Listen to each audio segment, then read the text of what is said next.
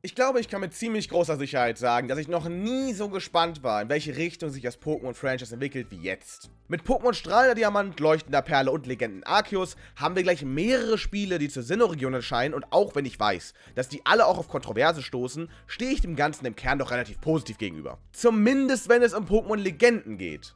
Ich bin ehrlich mit euch, mich interessieren die Remakes nicht wirklich.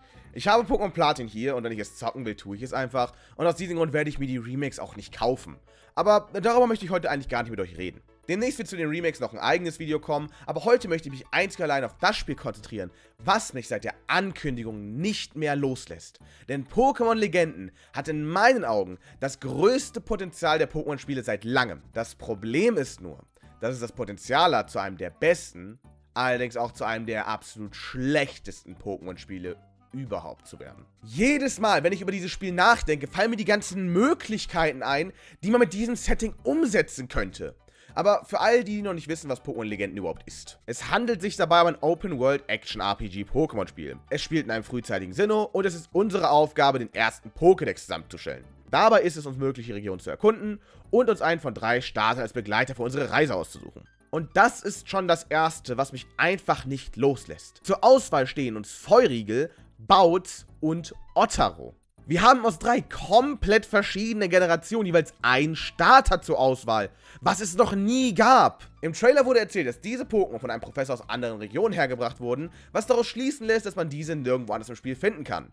Das ist nämlich interessant, da man die eigentlichen Starter aus der Sinnoh-Region ganz normal antreffen kann. Und wenn man genau darüber nachdenkt, macht das eigentlich auch am meisten Sinn. Es wäre vermutlich ziemlich merkwürdig, ein Spiel im früheren Sinnoh spielen zu lassen und einem nicht die Möglichkeit zu geben, die Pokémon, die später zu den Starter-Pokémon, für jeden neuen Trainer werden, in der Wildnis anzutreffen. Aber die Frage ist, wie weit dieses Konzept genommen wird. Im Trailer hat man bisher nur Pokémon gesehen, die man ganz normal in den Spielen Diamant, Perl und Platin finden kann. Wir wissen natürlich nicht, wie viele Pokémon es letztendlich in diesen Spielen zu finden gibt, aber zumindest die Starterauswahl lässt darauf hoffen, dass es mehr als die 151 aus Diamant und Perl oder die 210 aus Platin sein werden. Und wenn das nicht der Fall sein sollte, wäre das vermutlich einer der größten Fehler, die man machen könnte. Ihr dürft nicht vergessen, dass dieses Spiel zu einer Zeit spielt, bevor die Sinnoh oder auch irgendeine andere Region wahrscheinlich richtig etabliert wurde.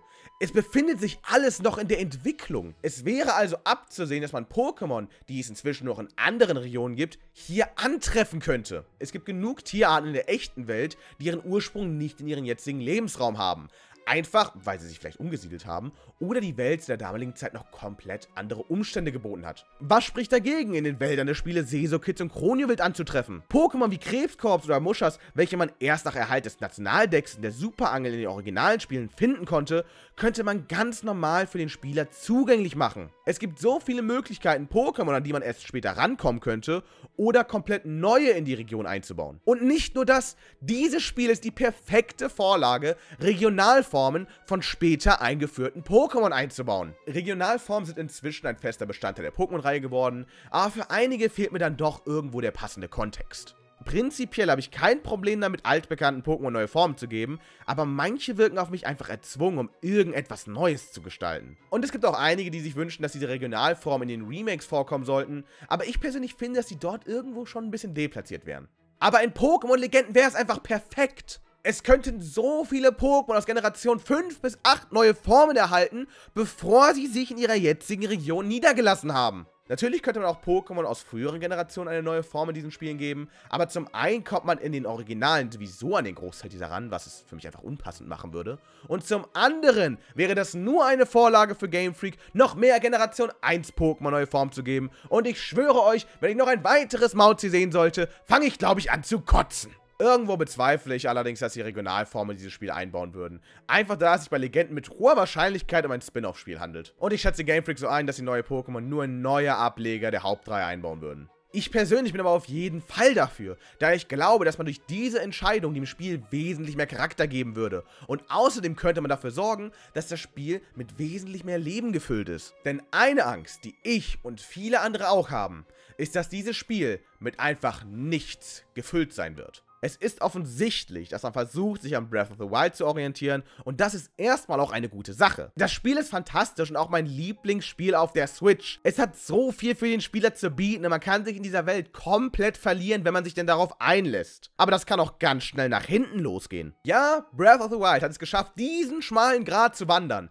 Aber wenn Game Freak das auch tun will, dann müssen die sich richtig Mühe geben. Es reicht nicht, sich ein Spiel anzugucken und zu sagen, oh ja, voll geil, das will ich auch machen. Und am Ende kein richtiges Konzept zu haben, wie man es dann am Ende umsetzen möchte. Ich will natürlich nicht sagen, dass das hier der Fall ist, aber man darf nicht vergessen, dass diese Möglichkeit besteht. Vor allem, da ich so viele Ideen habe, die man in dieses Spiel einbauen könnte. Wir bekommen im Trailer nur einen kurzen Blick auf die Anfangsstadt. Und wir haben auch noch nicht besonders viele Informationen darüber. Aber was ich mir vorstellen könnte, ist, dass diese Stadt nicht nur der Ort ist, an dem man sein Abenteuer beginnt, sondern auch als eine Art Basis fungiert. Ich fände es schön zu sehen, wenn man durch seinen Fortschritt im Spiel dafür sorgt, dass diese Stadt immer weiter erblüht, mehr Bewohner bekommt und man auch neue Areale freischaltet. Ich stelle es mir in einem ähnlichen Konzept vor, wie es auch die klassische Digimon World Reihe angeht. Dort bringt man die verschiedensten Digimon dazu, in dein Dorf einzuziehen. Und diese schalten dann neue Dienstleistungen und Vorteile für den Spieler frei. Das verleiht dem Gameplay nochmal eine neue Facette. Und ich kann mir sehr gut vorstellen, dass es zu der damaligen Zeit noch nicht besonders viele große Städte in der Sinnoh-Region gab. Es könnte sich hierbei um das frühe Jubelstadt handeln, da es die größte Stadt in Sinnoh ist und auch lore-technisch ziemlich gut passen würde. Jubelstadt ist die größte Stadt in der Sinnoh-Region. Die gesamte Stadt wurde auf Land gebaut, welches von den Bürgern der benachbarten Stadt Erzelingen aus einem Berg gemeißelt wurde. Jubelstadt ist die meist modernisierte Stadt in der Region und laut dem Anime die größte Stadt in Sinnoh. Es ist die sechstgrößte Stadt in der Pokémon-Welt. Die Stadt kann aus allen vier Richtungen erreicht werden und hat ein Tor, welches sich am Westeingang befindet. Jubelstadt erfüllt alle Voraussetzungen, um so ein Feature einzubauen. Es ist die größte Stadt der Region und es wäre doch perfekt, dem Spieler zu zeigen, wie sie dazu geworden ist. Sie wurde aus einem Berg gemeißelt und wir könnten genau diesen Aufbau mitverfolgen. Außerdem ist sie aus allen Richtungen erreichbar, was sie zu einem perfekten Standort in so einer Art Spiel macht. Natürlich wissen wir nicht, um welche Stadt es sich handelt. Es könnte eine komplett neue sein oder auch einfach nur einen anderen Namen tragen und dann später zur Jubelstadt umbenannt werden. Ich würde mich einfach nur sehr freuen, wenn man mit seiner Umgebung richtig interagieren könnte. Denn ja, wir haben bereits gesehen, dass die Pokémon frei herumlaufen und wir gegen diese kämpfen und sie auch fangen können. Aber viel mehr wissen wir nicht von dem, was man in dem Spiel machen kann. Es gibt verschiedene Leaks, nach denen man angeblich durch die Lüfte fliegen, an Bergen steigen oder auch auf Pokémon reiten kann. Davon wurde natürlich noch nichts bestätigt, aber ich finde es sehr wichtig, dass man die Region auf verschiedene Art und Weise bereisen kann. Gerade wenn es darum geht, den ersten Pokédex zusammenzustellen und die Pokémon in ihren natürlichen Habitaten anzutreffen. Aber auch, weil der Gedanke daran, einfach nur Pokémon für den Pokédex zu fangen, ziemlich langweilig klingt, oder? Ich meine, was genau soll ich in dem Spiel denn machen? Arenen wird es vermutlich nicht geben, da wir bereits wissen, dass das Konzept eines Trainers zu der damaligen Zeit nicht existiert hat. Und einfach nur durch die Region zu reisen und den Pokédex zu vervollständigen, klingt für mich nicht nach etwas, was mir Langzeitmotivation bieten würde. Aber für mich gibt es dort eine relativ leichte und auch sehr offensichtliche Lösung. Sidequests. Eine Menge Sidequests. Spiele wie Monster Hunter oder auch Witcher bombardieren den Spieler mit Aufgaben, damit man auch wirklich einen Grund hat, die Spielwelt zu erkunden. Und es wäre eine Schande, dies nicht in dieses Spiel einzubauen. Bring mir dieses Item, finde meinen verschwundenen Sohn oder beschütze mich vor Pokémon XY, während ich meine Lieferung mache. Ich denke, wir wissen alle, wie Sidequests aussehen. Vor allem, da in vielen Spielen einfach auch sehr ähnliche vorkommen. Es ist nur sehr wichtig, wie diese aufgebaut und im Spiel implementiert werden. Klar könnte es eine Mission geben, in der man die Ernte eines Bauern vor Flug- und Nagerpoken retten soll, aber einfach nur einzeln gegen jedes einzelne von diesen anzutreten, wäre schon ziemlich langweilig. Das ist auch ein riesiges Problem, welches Sonne und Mond hatte, da du verschiedene Aufgaben hattest, aber jede auf besiegt dreimal Pokémon XY runtergebrochen werden konnte. Und wir haben im Trailer bereits gesehen, dass das klassische Kampfsystem existiert. Aber das heißt ja nicht, dass man nicht auch ein interaktives Kampfsystem für gewisse Situationen einbauen könnte. Ich stelle mir ein ähnliches Kampfsystem wie in Nino Kuni vor. Falls es euch noch nicht aufgefallen ist, ich spiele sehr viel mehr Spiele als nur Pokémon. Ich kann mir gut vorstellen, dass es Kämpfe oder auch nur bestimmte Missionen gibt, in der man mit der Umgebung interagieren kann und kein klassisches, rundenbasiertes Kampfsystem hat. Aber bei Nino Kuni ist das Interessante, dass man dort nicht nur die Monster, sondern auch die Charaktere steuert. Man kann zwischen diesen frei hin und her wechseln und man muss versuchen, einen Überblick über die Situation zu behalten und die richtige Taktik zu finden, um den Kampf für sich zu entscheiden. Es wäre vermutlich etwas runtergebrochen in Legenden, da ich bezweifle, dass man uns mit drei Pokémon auf einmal kämpfen lassen würde. Auch wenn ich die Idee ziemlich nice finde. Aber allein die Möglichkeit zu haben, mit meinem Pokémon zusammen verschiedene Aufgaben zu bewältigen, klingt für mich einfach fantastisch. Der Charakter ist auch dazu imstande, eine Dodge Roll auszuführen. Und es könnte noch so viele andere Optionen mit dazukommen. Aber wozu soll eine Dodge Roll gut sein, wenn die Kämpfe nur rundenbasiert sind? Ja, man könnte damit vielleicht einem wilden Pokémon ausweichen, welches einen angreift und man sonst im Kampfbildschirm landen würde, aber das wäre doch etwas unnötig einzubauen, oder nicht? In Persona 5 gibt es auch die Möglichkeit, die Gegner für einen Gegenschlag auszuweichen. Und es handelt sich auch hier bei einem rundenbasiertes Spiel. Aber es ist auch kein Open-World-Game. Und ich würde es in einem Open-World-Game mit dem Stil, den Pokémon-Legenden zu haben scheint, doch sehr deplatziert finden. Aber Sidequests alleine reichen nicht, um dem Spiel den gewissen Reiz zu verleihen, den es nun mal braucht. Und ich denke, wir sind uns alle einig, was eingebaut werden muss. Bosskämpfe. Es gibt tatsächlich einige Möglichkeiten, wie man diese einbauen könnte, aber ich persönlich finde, dass Pokémon sich bereits die perfekte Vorlage dafür selbst gegeben hat. Sie sollten einfach wie die Herrscher-Pokémon in Sonne und Mond sein. Ein unglaublich starkes Pokémon, welches in diesem Fall vielleicht auch verschiedene Statuseffekte herbeiführen kann und auch Mitstreiter in den Kampf ruft. Es wäre perfekt und genau für solche Kämpfe würde ich mir wünschen, dass man mit mehr als nur einem Pokémon auf einmal kämpfen könnte. Zum einen könnte man dadurch dem Gegner direkt mehrere Möglichkeiten bieten anzugreifen ohne dass es mit einem Pokémon zu schwer wird. Und zum anderen würde das bedeuten, dass der Spieler wesentlich mehr nachdenken muss, was er als nächstes tut. Affektivitäten werden wahrscheinlich weiter bestehen bleiben. Aber diese könnte man entweder bei allen oder vielleicht bei ein paar Bossgegnern einfach ausbauen oder dafür sorgen, dass diese nicht direkt beim ersten sehr effektiven Treffer besiegt werden. Bei Mystery Dungeon ist es ja nicht anders. Stellt es euch einfach wie Raids vor. Nur dass ab einer gewissen KP-Anzahl nicht automatisch die Schilder aufgebaut werden, egal wie viel Schaden dieser Angriff gemacht hätte.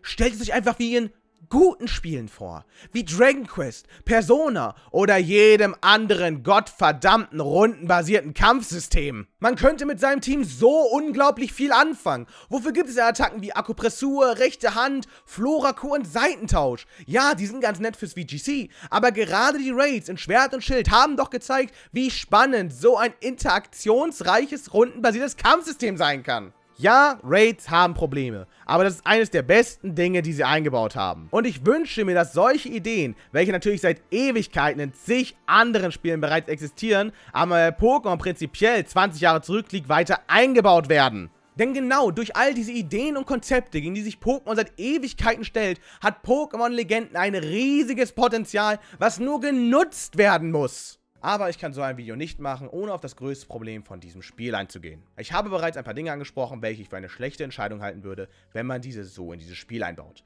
Allerdings ist das größte Problem nichts, über das irgendwer spekulieren muss, da dieses bereits für jeden im ersten Trailer vollkommen ersichtlich war. Dieses Spiel sieht absolut unfertig aus. Es sieht aus wie der erste Ansatz, den man gemacht hat, um das Spiel seinen Vorgesetzten vorzuschlagen. Und man dann erst daran arbeitet, es richtig umzusetzen. Durch erneut hässliche Texturen, welche darauf schließen lassen, dass es auf der Schwert- und Schild-Engine basiert, unentschuldbare Framerates der Pokémon und ziemlich fragwürdigen Angriffsanimationen, sieht das Spiel aus, als wäre es gerade mal in der Alpha. Und das bereitet mir Angst.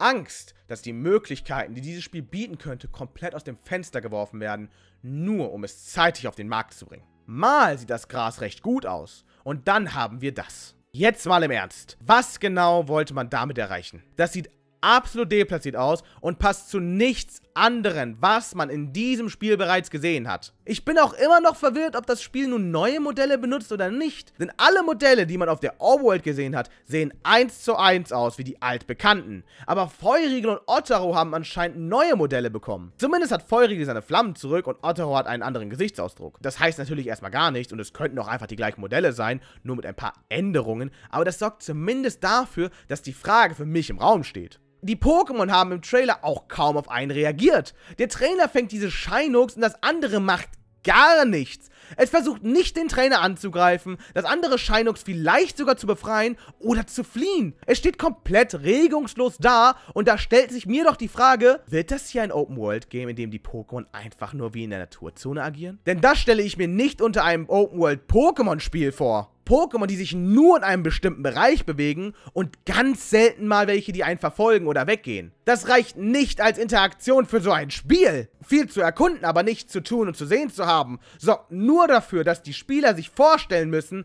was man alles hätte erreichen können, wenn man denn doch die nötige Arbeit dort hineingesteckt hätte. In meinen Augen sollte dieses Spiel nie im Leben Anfang 2022 erscheinen. Vielleicht nicht mal 2023. Ich wünsche mir nämlich, dass dieses Spiel wirklich Erfolg hat. Und Erfolg erfordert Zeit.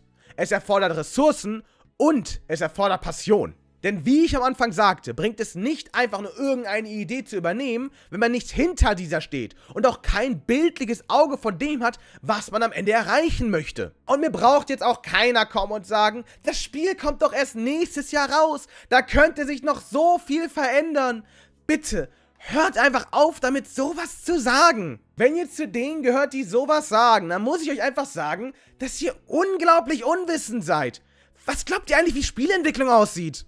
Im letzten Jahr wird nicht nochmal das ganze Spiel neu aufgelegt. Dabei geht es eigentlich nur um Schadensminimierung. Glitches werden ausgearbeitet und Ecken und Kanten werden abgeschliffen. In den seltensten Fällen wird in den letzten Jahren ein Spiel auf komplett neue Höhen gehoben. Ja, es kommt vor, dass quasi im letzten Moment Designentscheidungen getroffen werden, die ein Spiel verändern. Aber im Kern und besonders die Grafik bleibt zu 90% so, wie sie präsentiert wurde. Lichter und Schattierungen werden noch ausgearbeitet, aber hört endlich auf zu denken, dass dieses Aufnahmen nicht final irgendetwas ausmacht. Wacht bitte endlich auf! Und ich bin auch davon überzeugt, dass diese Spiele zu 100% nicht verschoben werden, egal ob sie designtechnisch ein Desaster sind oder nicht. Und warum? Geld natürlich! Pokémon Legenden gehört mit den Remakes zur Neuauflage der vierten Generation. Und das kann man ja nicht verschieben.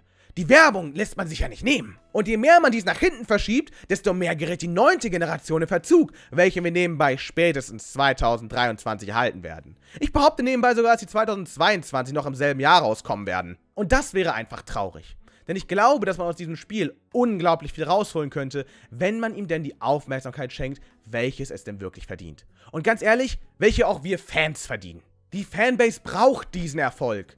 Ich brauche diesen Erfolg. Ich will nicht jedes Jahr aufs Neue mit halbherzig hingekotzten Spielen abgewürgt werden. Ich will nicht sagen müssen, dass das Spiel ganz okay war und man Spaß daran haben kann, wenn man Pokémon-Fan ist.